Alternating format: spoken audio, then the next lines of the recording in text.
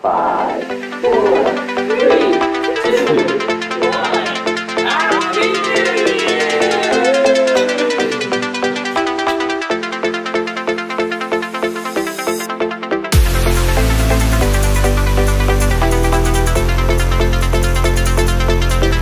Four degrees.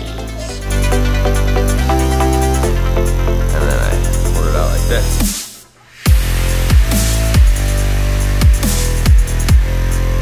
Normally make tea in the morning, but Finley wanted tea.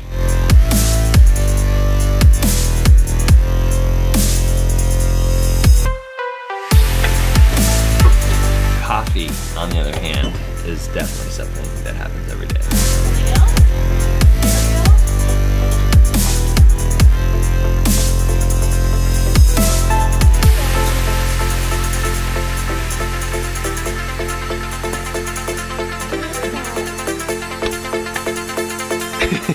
We're going to the Wanner Christmas.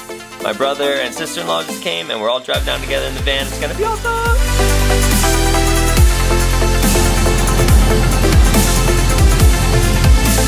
Made it to Wanner Christmas time and we're doing it.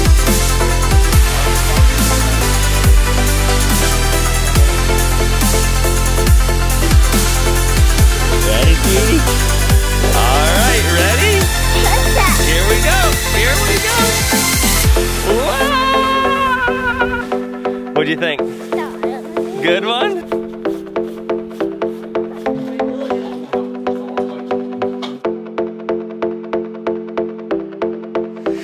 I mean, the first vlog is basically done. Um, we're done with this uh, family Christmas down here in Manheim, Lancaster. And uh, we're about to go home. There's a gorgeous sunset up here that I'm trying to get us to, but I'm really excited. I'm not gonna lie, I'm really excited. It was, you know, New Year's resolutions, right? Do you do them? Do you not do them? Um, I decided to do them this year, and uh, mine is discipline.